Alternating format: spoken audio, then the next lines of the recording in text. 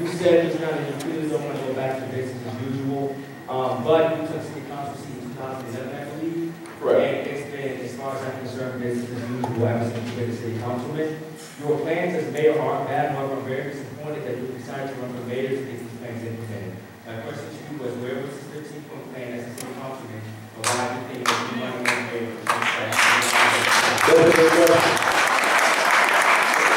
So first I'll say, that's a good question. I absolutely love my job as a city councilman. I love my district. We've been able to do a lot of amazing things in my district. I mean, but we need to be very clear. Uh, there's one person based off of the city charter uh, that has the ability to really connect the dots and really go after the systemic and structural issues that plague our community for far too long. From schooling, to policing, to community development, to job opportunity, and that's the mayor of Baltimore. And that's why I've decided to, to run for the mayor of Baltimore. I've been in City Hall long enough to see the deficiencies, to see the problems. But I haven't been there long enough to allow them to cloud my judgment. And that's why I'm running for mayor for the city of Baltimore.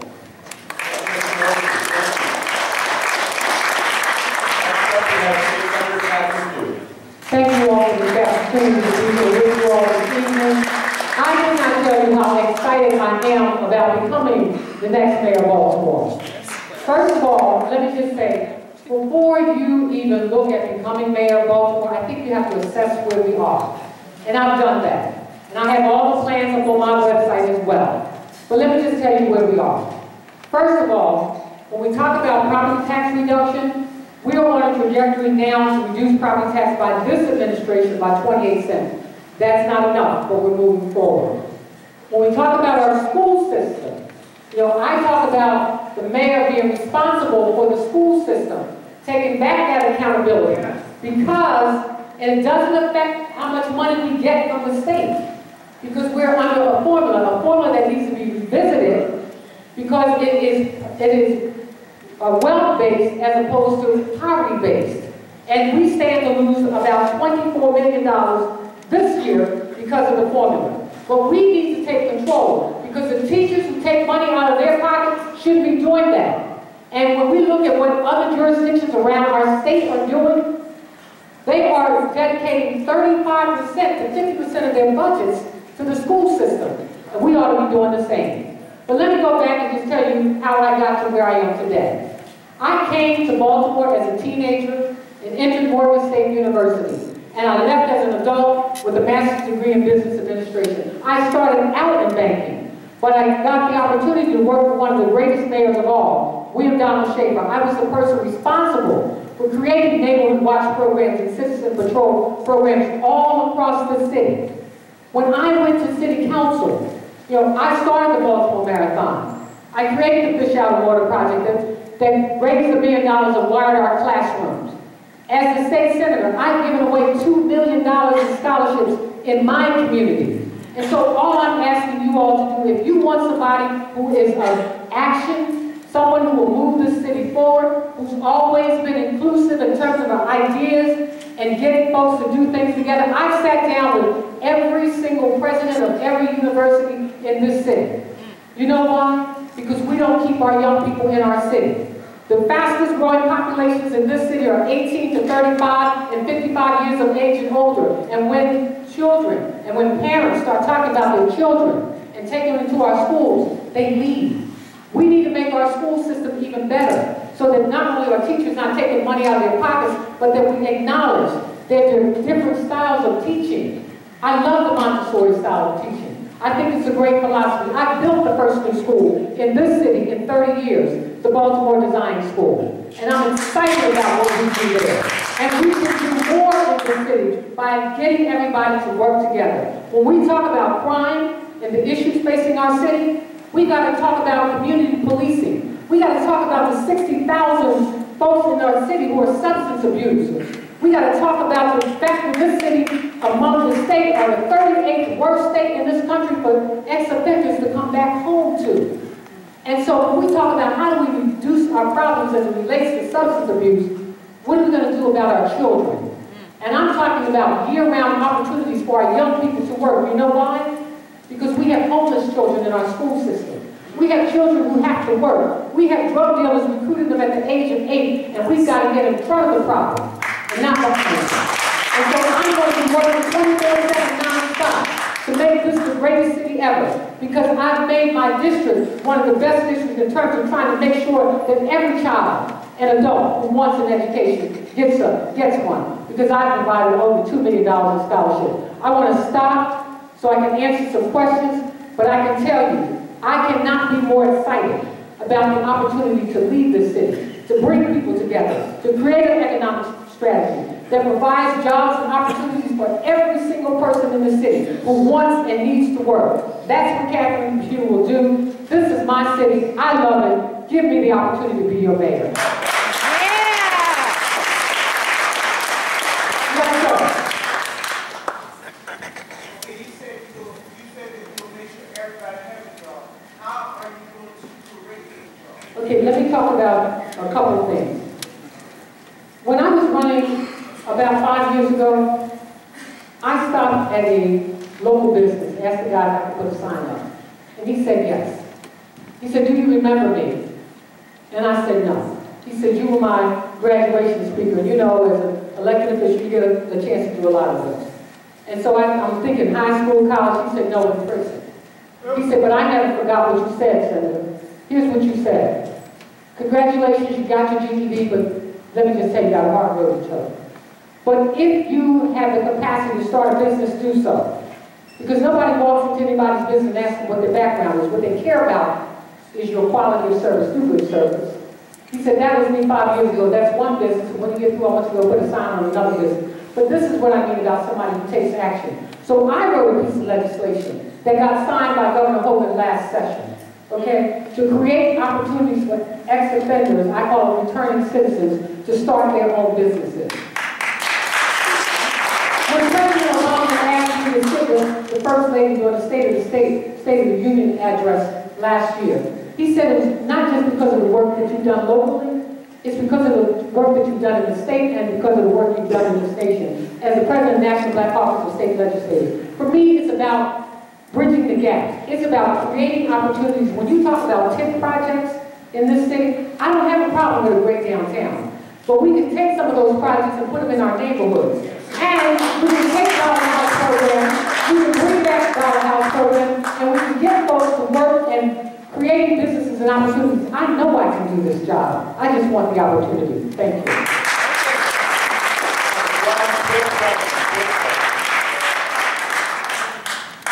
Hello. Hi. You say that you provided um, a great education for everyone in your district. Yes. Um, Right now, we know that this week, uh, city schools have been plagued with a lack of heat in their schools.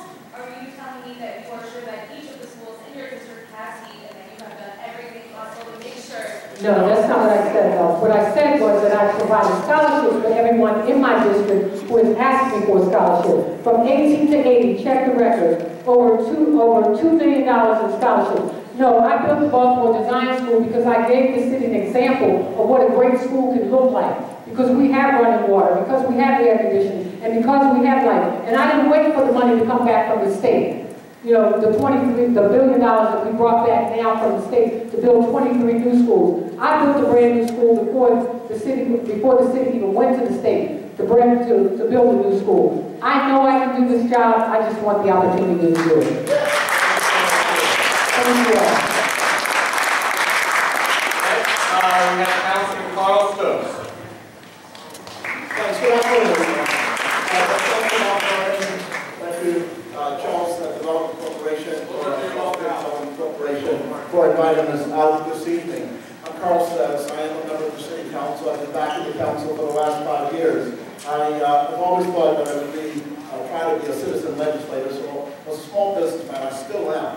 And I, I entered and served two terms, and uh, self-term limited myself uh, some years ago. I've been out of politics for 15 years. I did run for mayor, I did not win, uh, but I had left already uh, politics, and then I've been out for 15 years.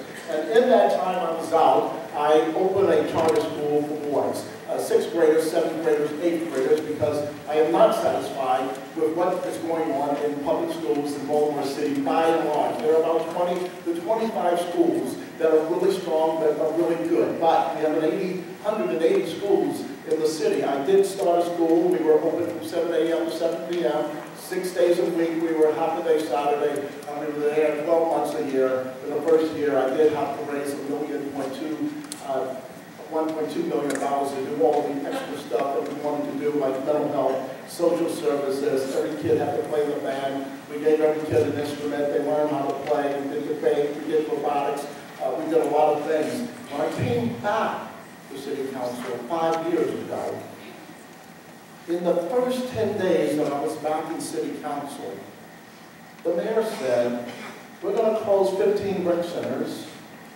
six pools, and we're going to cut the hours and everything else. Said, why would you do that? And she said, because we don't have enough money. And I said, are you sure? And she says, you think you can find it, smart ass? And I said, I don't know. I'm not going to go over and try to find it. I'm going to go over and go through the books. I'm going to look every penny. I'm going to see if there's a place that we can find some money to keep these pools open and these rec centers open. I'm going to try to do that. And when I went over and asked for the books, they couldn't give me books. They couldn't give me financials. And I said, okay, just give me the last three years of audits, and we'll work from there. And they said, we don't do audits. And I said, you don't do audits? I'm a small business guy. I also uh, ran two nonprofits, and I know that the federal government insists that $25,000 in transactions of a nonprofit by law, you have to do an audit annually. Anyway, you know the rest of the story. I put a bill into city council demanding that we audit every penny of the taxpayers' money. And lo and behold, the greater majority of the city council turned it down. They said, no, we don't need to do audits. I was stunned. I lost. But then with my friend, colleague, Jack Young, we resurrected a bill that said every four years we would audit 13 of the audits. Well, when elected mayor, I will ignore that law because it doesn't even begin to do what we need to do. I will, by executive order, audit every penny of the taxpayer dollar. At least once a month. And we're going to come back and determine what we have to do. In my second year in the city there's a billionaire who walked into my office and said, I'm chair taxation, finance, economic development, and said, I want the taxpayer money. I want what would turn out to be $250 million in no taxes being paid for 30 years. And I said, why? And then they offered a. He said because his investors on the plan that he had already would get about 13% back in interest. And he didn't think that was good enough to bring investors in. And they wanted 17% instead. 8% generally is a good number. But they wanted 17%. And I stood and fought that. And I said, I don't want to do it at all, but if we're going to do it, I want you to give money to City Springs Elementary School. I want you to build a rec center. I want you to give first preference to the people who live in Perkins homes and you help them with job training and then we give them jobs and we make this our harbor neighborhoods at least gain something and not just the inner harbor neighborhoods. And I think the inner harbor is great. We should continue to build it. But I know that the neighborhoods in northeast southwest and, and northwest and southeast also need some love and attention.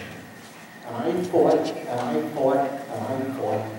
And I lost that battle also because the majority of my colleagues and the mayor said, we just need to give the guy money. So I'm here tonight because I'm telling you that I'm the guy who's going to stand up and stay standing. Let the wind blow as hard as it can. I may bend, but I'm not going to break it. I want to be your man so that we change our city for all of our neighborhoods and for all of our citizens. I want to be the guy who fights for the most vulnerable among us as well as those who are doing well by us. Thank you.